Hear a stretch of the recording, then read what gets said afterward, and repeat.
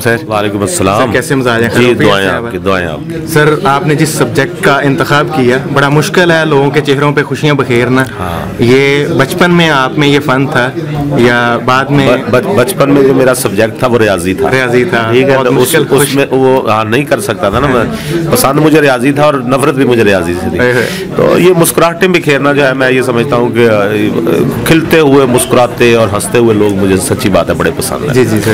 تو اس معاشرے میں جہاں پہ قدم قدم پہ کوئی نہ کوئی ٹینشن ہے کوئی نہ کوئی انزائٹی کا مریض نکل آتا جی، ہے چند لمحوں کے لیے کوئی ہنستا ہے تو میرے لیے یہ میں لوگوں کو جب ہنساتا ہوں تو بیسیکلی میں اپنے لیے ایک آکسیجن کا سامان پیدا جی، کرتا ہوں۔ ان کے چہروں پہ مسکراہٹ دیکھ کے مجھے خود خوشی ہوتی ہے۔ جی، تو یہ سمجھ لیں یہ میرا میں اپنے لیے ایک دوائی بناتا ہوں۔ جی، جی،۔ مسکراہٹ کی دوائی وہ ہنستے لوگ ہیں لیکن اس کا فائدہ مجھے ہوتا ہے۔ جی جی سر۔ سر جیسے میں نے عرض کیا کہ اس ماحول میں ہر طرف پریشانی آوازاری کوئی مہنگائی سے پریشان ہے کوئی حکمرانوں سے کوئی مذہبی منافرت کی وجہ سے پریشان ہے اس سچویشن میں آپ نے یہ سارا کام کیسے کر لیا؟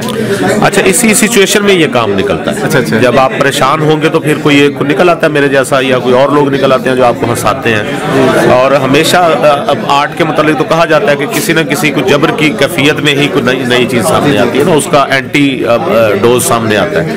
مجھے یہ لگتا ہے کہ جب میں اگر میں یہ نہ لکھوں جی۔ تو میرا خیال ہے کہ مجھے میرا اپنا جینا بہت مشکل ہو ہے لوگوں کو ہنسانا یا لوگوں کی بنیادی طور پہ یہ صرف ہنسانا نہیں ہوتا اس کے اندر بہت سارے مفاہیم ہوتے ہیں آپ کو ایک میسج پہنچانا ہوتا ہے بجائے اس کے کہ خشک اور ایک ڈرائی قسم کی تقریر کے ذریعے یا تحریر کے ذریعے یا بالکل عامیانہ بات کے ذریعے آپ تک کوئی میسج پہنچایا جائے یا کوئی ایسی لیکچر دے دیا جائے جی۔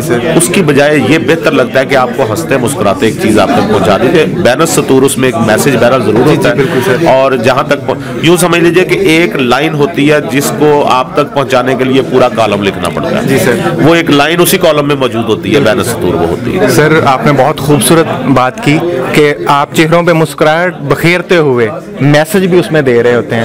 سر جو نئے چہرے ہیں نئے لکھنے والے نئے مزاح پیدا جو کہتے ہیں کہ ہم لوگوں کے چہروں پہ مسکراہٹ پیدا کریں ان کے لیے آپ کا کوئی خوبصورت میسج۔ وہ بہت اچھا کام کر رہے ہیں۔ جو بھی نئے لوگ کام کر رہے ہیں ان میں بہت سارے لوگ ہیں۔ ان میں عائشہ عظیم صاحبہ ہیں خواتین کے لیے وہ کرن خان ہیں فاطمہ عمران ہیں اس کے علاوہ شاہد ظہیر سید صاحب ہیں علی رضا احمد صاحب ہیں وہ بھی بہت اچھا مزاح لکھ رہے ہیں۔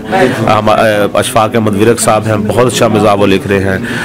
ہمارے اور بھی دو تین جن کے مجھے نام نہیں یاد آ رہے۔ جی، جی،۔ اور یہ سارے لوگ بہت اچھا مزاح لکھ رہے ہیں اور میں یہ چاہتا ہوں کہ یہ اس اس تعداد میں اضافہ ہو۔ جتنے مزاح نگار بڑھیں گے اتنے ہنسنے والے بھی بڑھیں گے وہ چہرے مسکراہٹیں بکھیرنے والے بھی بڑھیں گے۔ تو میری تو ان سب کے لیے دعائیں اور مجھ سے خیر یہ سب لوگ بہت اچھا کام کر رہے ہیں۔ اور میری دعا ہے کہ اور لوگ اس میں آئیں اور اور بہت اچھا کام ہو اس میں۔ جی بہت شکریہ سر آپ نے اپنے بڑے ہونے کا ثبوت دیا۔ ان کو یہ کہتے ہوئے کہ وہ بہت اچھا کام کر رہے ہیں۔ آپ بہت اچھا کام کرتے ہوئے یہ آپ کے کام کی دلیل ہے کہ آپ اپنے ساتھ کام کرنے والوں کو بھی اپریشیٹ کر رہے ہیں۔ سر آپ کے قیمتی ٹائم کا بہت شکریہ بہت شکریہ بڑی نوازش تھینک یو